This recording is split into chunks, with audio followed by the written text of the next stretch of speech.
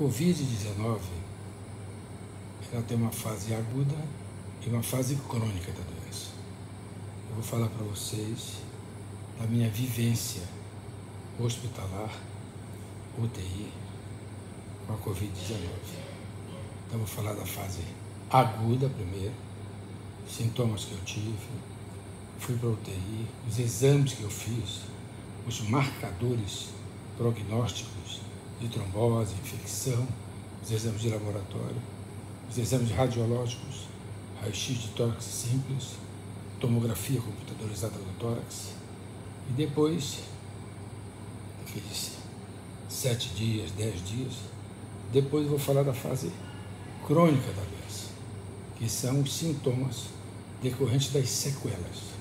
Sequela pulmonar, sequela cerebral, sequela visual, sequela hepática, sequela renal. É diferente dos outros vírus que tinham como foco o pulmão, os pulmões, o coronavírus dá uma reação inflamatória em todas as vísceras. Tá bom? Então vou falar da fase aguda e depois da fase crônica da doença. Da recuperação, fisioterapia, fibrose, enfim.